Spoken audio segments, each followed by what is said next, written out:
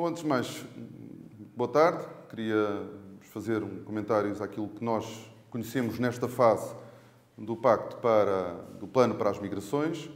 E queria começar por uh, lembrar que Portugal é um país de imigrantes, um país com uma, uma forte comunidade de imigrantes espalhada pelo mundo e nós, ao longo de anos, fomos sempre nos batendo pelo respeito pela integração dos nossos portugueses que procuraram outros países para trabalhar.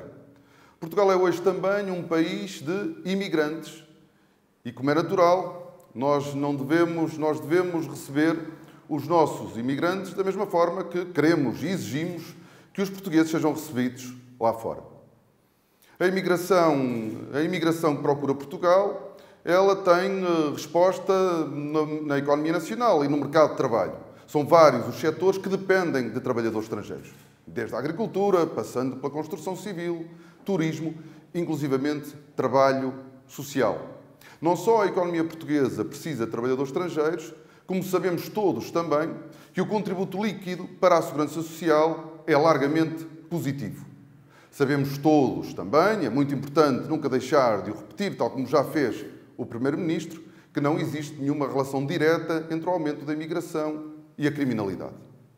Agora, nós não ignoramos que o fenómeno da imigração tem impacto e tem consequências na sociedade, portuguesa e no país ao qual é necessário dar respostas.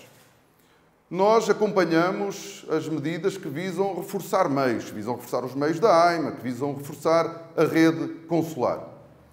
Mas, na realidade, a grande medida concreta, substantiva neste plano é, fim, é o fim de um conceito que está previsto na lei de estrangeiros e que é conhecido e que está previsto na lei como manifestação de interesses. E era muito importante que, desde logo, não eh, deixássemos claro que não queríamos, que não excluímos nenhuma revisão da lei de estrangeiros, mas não queremos que se alimente a ideia de que é a legislação, é através de alterações legislativas que nós vamos conseguir controlar os fluxos migratórios. Estivéssemos nós a falar da militarização das fronteiras, não me parece que isso esteja em causa nem seja defendido por nenhum partido político em Portugal, as alterações legislativas têm limitações fortes no controlo dos fluxos migratórios. E é muito importante olharmos para este conceito em particular e que tem como objetivo regularizar a situação de trabalhadores que já estão a trabalhar em Portugal há pelo menos um ano, com um contrato de trabalho e com descontos para a Segurança Social. O fim imediato desta, desta, desta figura jurídica vai deixar aqui uma situação de vazio. Porque, na realidade, nós teremos trabalhadores futuros, porque obviamente sabemos, e isso foi explicado pelo Governo, que aqueles que já cá estão serão abrangidos ao abrigo da legislação ainda em vigor, mas poderemos estar a criar um problema para o futuro, com trabalhadores estrangeiros em Portugal a trabalhar, a descontar, mas sem possibilidade de se regularizar. Isso sim é deixarmos os trabalhadores numa situação desumana e sem saída do ponto de vista da legalização. E a pergunta que nós eh, todos devemos fazer, que todos os portugueses devem fazer, é, o que é que, como é que o país deve tratar alguém que está há mais de um ano a trabalhar em Portugal, que tem um contrato de trabalho, que tem descontos para a Segurança Social. A verdade é que o Governo não dá resposta no futuro. E não se prevê que o reforço dos serviços consulares seja suficiente para nós terminarmos com esta figura jurídica, desde logo num plano imediato. E por isso nós não excluímos a revisão da legislação, nós não conhecemos ainda na sua solução definitiva a proposta ou o decreto-lei do Governo, mas queremos alertar para os riscos que o fim desta figura traz ao nosso país. Este plano ele é vago e abstrato num conjunto muito vasto, genérico, num conjunto muito vasto de medidas. Ele é muito concreto no fim da figura da manifestação de interesses, mas é depois eh, vaga em quase tudo, porque não quantifica, não dá, não tem um calendário. E isso uh, coloca ainda uma grande incerteza sobre as soluções que o governo apresenta. Mas nós podemos constatar já uma falha grave no plano. Em qualquer política migratória, o elemento central é o mercado de trabalho.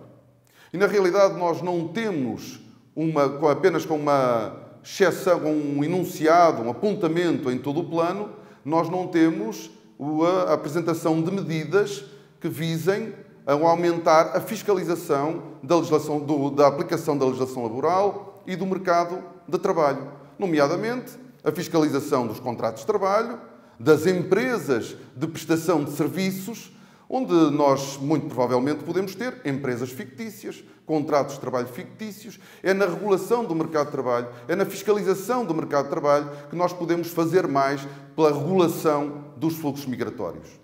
E sobre o mercado de trabalho, o plano não diz quase nada, para não dizer, não diz mesmo nada. E esta é uma área central em qualquer política migratória, como acabei de dizer. Portanto, nós temos um plano que tem reforço de meios, que nós congratulamos e queremos ver, obviamente, no terreno. Temos uma, um compromisso firme, imediato, de revogação de uma figura jurídica, para, sobre a qual nós temos uh, muitas dúvidas, porque vai colocar, vai criar aqui uma situação de impasse, de vazio, de trabalhadores com contrato que descontam sem terem a, a, a capacidade de regularizar. O que é que faz o que é que entende o governo fazer a todos esses trabalhadores que vierem para o país de forma ilegal, mas que acabem por estar muitos meses, mais de um ano, a trabalhar e a descontar para a Segurança Social, sem esta figura, qual será a resposta que o governo dará? E depois a matéria de mercado de trabalho, este apontamento crítico à ausência quase total, à menção, à necessidade de aumentarmos a fiscalização sobre uh, uh, o trabalho e sobre o mercado de trabalho, onde se joga grande parte da regulação dos fluxos migratórios. Vamos disponíveis para alguma questão que queiram colocar? O que é que o PS, o que é que tem de acontecer para o Partido Socialista viabilizar este, este plano governo? Bom, eu, aparentemente, muitas destas medidas não carecem sequer de aprovação na Assembleia da República. Dependem de decisão do, do Governo. Nós queremos, mais do que o anúncio de medidas, é a sua implementação. A governação não passa apenas por apresentar PowerPoints, passa por implementar as medidas e por isso nós vamos acompanhar a implementação de algumas medidas. Agora, há uma matéria que é, hum, que é clara e essa é a alteração legislativa.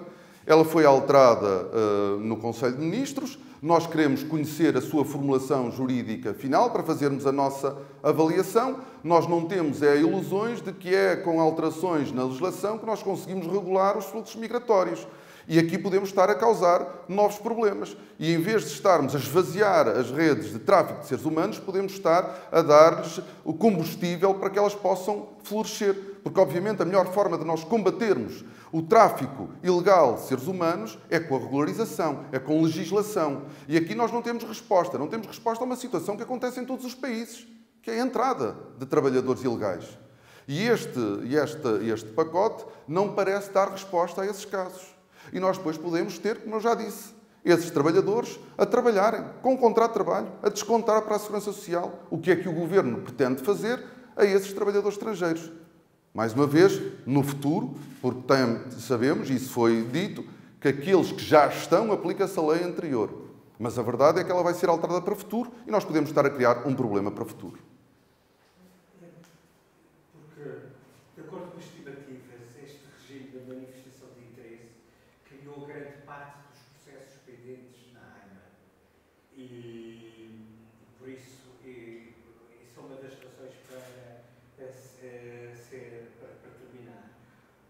questão é se, do ponto de vista político, há alguma autocrítica da parte, da parte do PS em relação à criação da, ao processo de criação da AIMA, se o secretário-geral do PS reconhece que houve coisas que não correram bem neste processo da AIMA. Em primeiro lugar, eu quero discordar dessa relação direta entre a figura da manifestação de interesses e do aumento dos, do, do, do, do número de trabalhadores estrangeiros em Portugal são, não é normalmente o mercado de trabalho a origem da procura dos países eh, de destino da imigração. E por isso, se nós continuarmos no, no, presente ou no futuro com um mercado de trabalho a necessitar de trabalhadores estrangeiros, não é o fim desta figura que vai impedir a sua entrada. Eles continuarão a entrar de forma ilegal. Ficaremos é sem um mecanismo legal que permita regularizar quem está no território nacional a trabalhar há mais de um ano.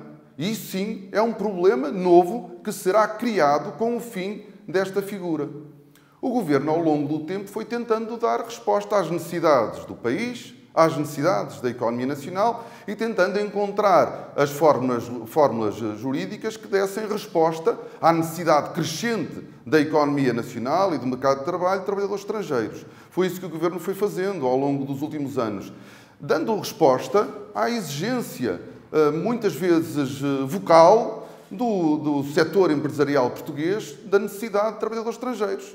Foram, foram vários setores empresariais os primeiros a defender a necessidade de facilitar a entrada de trabalhadores estrangeiros que eram essenciais para o funcionamento de vários setores da nossa economia. E as instituições têm o seu tempo. A AIMA tinha já um plano para a regularização de todas as pendências. O governo anunciou a vontade de reforçar meios para regularizar as pendências, sem se comprometer com nenhum prazo. Mas, na realidade, a AIMA já tinha previsto mais ou menos um prazo para conseguir a regularização de todos os processos eh, pendentes. E por isso há, muita, há muito do anúncio que é feito que não é novo, que é bem-vindo, mas que não é novo. E aquilo que é novo pode trazer problemas uh, agravados para os trabalhadores estrangeiros que estão ou procurarão Portugal no futuro. E isso sim preocupa-nos. Nós não excluímos, como eu já disse, olharmos para a lei, revermos a lei. Mas, eh, e, e, mas queremos conhecer desde logo a proposta eh, do Governo, em concreto, mas alertando para este risco de, em vez de estarmos a resolver um problema, podermos estar a criar novos problemas. Porque a manifestação de interesses eh, pressupunha a entrada ilegal. Isto é, a entrada ilegal acontecia com a, manifestação de interesses. A entrada ilegal pode continuar a acontecer sem essa figura. O que é que acontece de diferente?